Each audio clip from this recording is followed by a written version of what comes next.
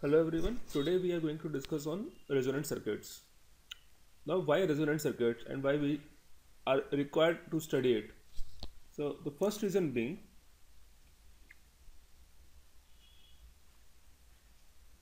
the first reason being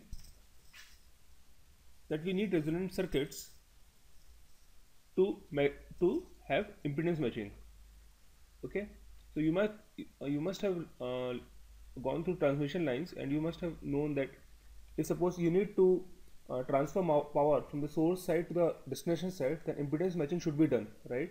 So the resonant circuits can be used for the impedance matching purposes okay? Second is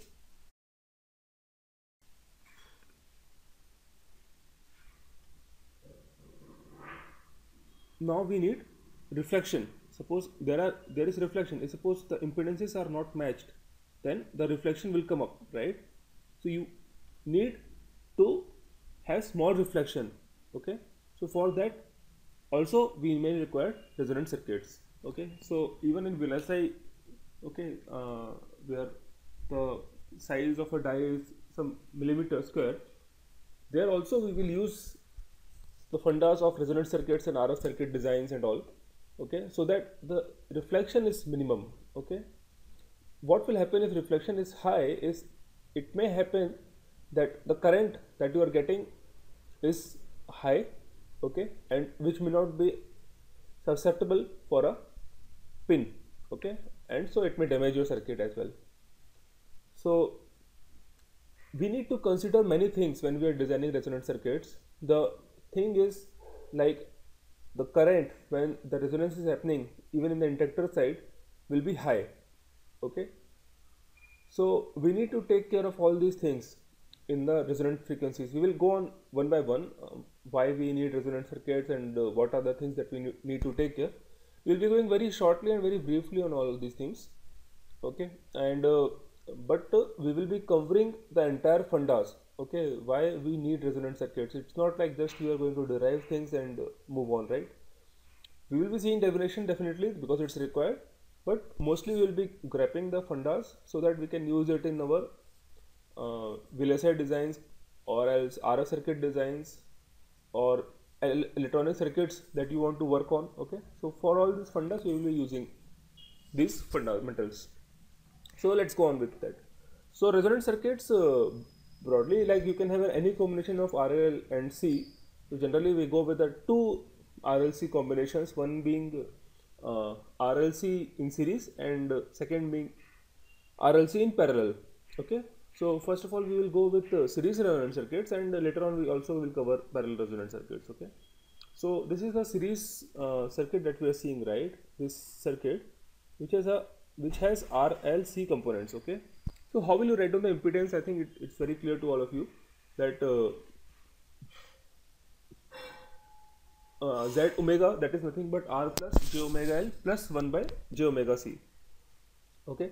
Now when we go for lower frequency like DC frequencies, what is the condition? Like L will act like a short circuit because the impedance of L is what XL which is what J omega L which is what at t is, is equal to 0 will be equivalent to 0 okay? So L will act like a short circuit. Similarly at omega is equal to infinity capacitor will act like a open circuit. Okay? So Z omega in that case is will tend to infinity. Okay? Now what will happen if your frequency is increased to a very high value? Okay? Like your RLC circuit might be designed for some kilohertz frequency but you are now going some gigahertz frequency. Okay? So in that case you can context like omega is tending to infinity so in that case, L will act like a oh, like like a open circuit because the XL will be very large value, right? And XC in that case will be very small because omega is in the denominator term. So capacitor will act like a short circuit and still Z omega will tend to infinity. So in a way, in uh, oh, DC frequency, the uh, capacitor will put the circuit in open circuit conditions and in higher frequency L will put as a open circuit conditions.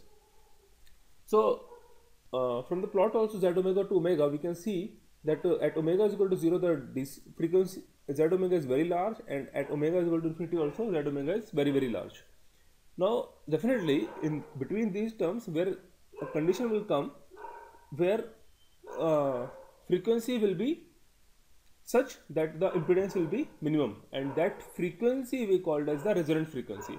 So here you can see at omega is equal to omega naught that is called as the resonant frequency. Now we should have a mathematical term to define that term, right? So we write like omega naught L is equal to 1 by omega naught C.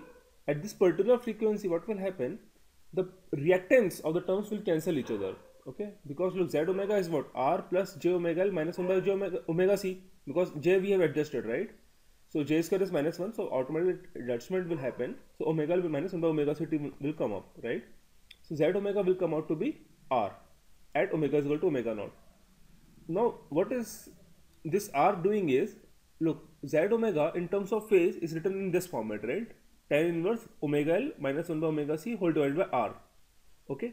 So definitely there is a phasor term. What this phasor term shows you that between V and I, between V and I, the impedance is such that it is making some angle like some theta something right right actually v should be here and i should be here okay. Some angling is happening right? No i think yeah, earlier was good. Sorry.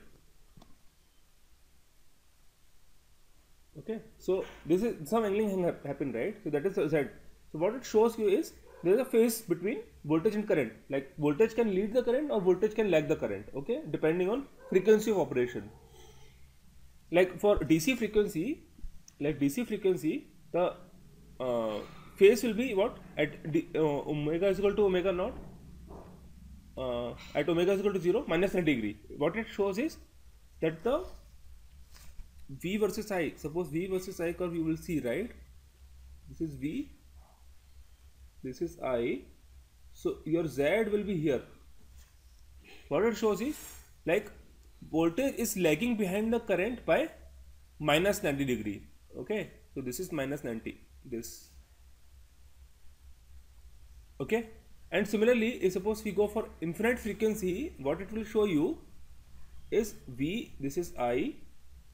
So it will show you that the voltage is leading the current by 90 degree. Okay? And in other conditions like omega is equal to omega naught voltage and current are in phase right? So in this condition voltage and current are in phase. So your V, this is your I, and this is your impedance now, Z. Okay, they are not leading, leading, neither lagging. Okay, they are in phase. Voltage and current as well as both are in phase. Okay. Now, what is the uh, thing we understand by this? We understand like when omega voltage and current is lagging, it means what? The circuit is fully capacitive right voltage is lagging behind the current by 90 degree it means it's a capacitive circuit right? So this is also shown right? And we understand like xc will be infinity. So like definitely it's a capacitive circuit right? Inductance is zero. So that is what we mean right? Now we can plot the magnitude. So magnitude plot will be something like this because uh, look 1 by omega c terms are there right? And omega L is there. Linear and x 1 by exponential 1 by x curve is there. So definitely this curve will look like this right? Similarly we can see the phase right? So phase can look as as you put L and C values you can have different phase plots. Similarly you can have different magnitude plots. So you can have a magnitude plot which is changing like this format. It all depends on RLC values right? So you can see there is some sharp turns that we are seeing right? In this curve we are seeing some sharp turns. That is nothing but the quality factor. This all things are defined by the quality factor. So if you have a high quality factor sharper is the turn so q is increased so sharper turn. Okay we will discuss on quality factor later on. But for now you can understand in this format right? So you need to define some quality term right to denote this change. So that is nothing but the quality factor that we're defining. So we will have a mathematical definition also for that right? So this is all about series resonant circuits. We will in the next class cover about parallel resonant circuits and later on we will also cover quality factors and bandwidth and all these. If you like this video and you want us to create more such videos, please don't hesitate to like, share and subscribe to TechTude.